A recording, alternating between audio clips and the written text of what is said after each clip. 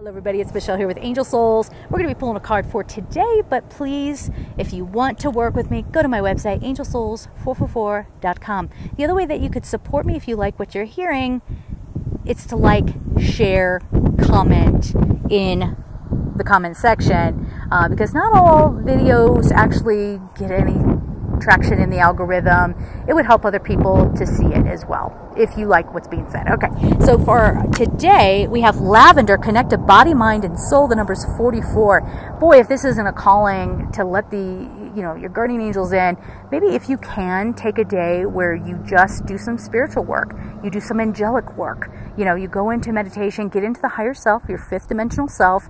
That is along the same vibrational level as your guardian angel. So you will be able to uh, perceive the messages around your angels a little bit better. Okay, so keep that in mind.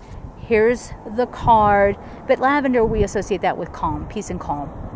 Make room and space for that as well today, as much as you can. All right, so we're going to leave it there. I'm sending you all so much love and take care.